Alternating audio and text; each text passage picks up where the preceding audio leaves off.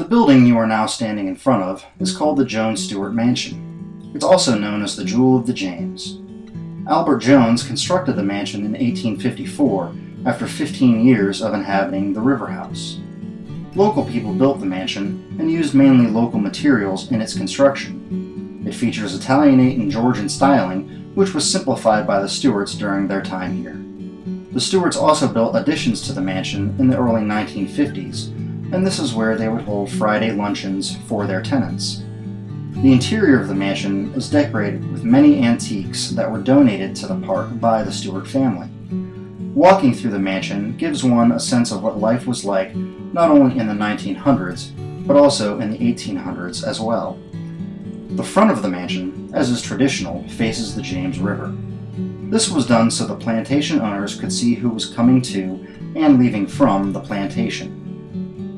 During her time at the plantation, Mrs. Stewart also took on many of the bookkeeping responsibilities. In fact, her ledger is still on display in an upstairs bedroom in order to show the link between the plantation's produce and its income. While it provides a beautiful view of the surrounding area, the cupola on the roof of the mansion also provided climate control by drawing all the hot air in the house up to the cupola and away from those that were living inside the mansion. Brick kitchen was built at the same time as the mansion and also added to in the early 1950s by the Stewarts, the addition being a guest house.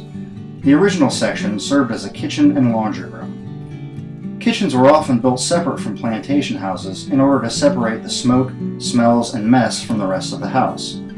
Clothes were usually washed outside if possible, but inside, women performed tasks like cooking, candle making, and spinning and dyeing cloth.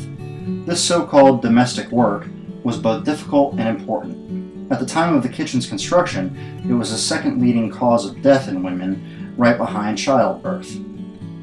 It was here that the raw products of the plantation were transformed by the women into the food and clothing for the entire plantation. The tour continues at the Farm and Forestry Museum across the street from the River House.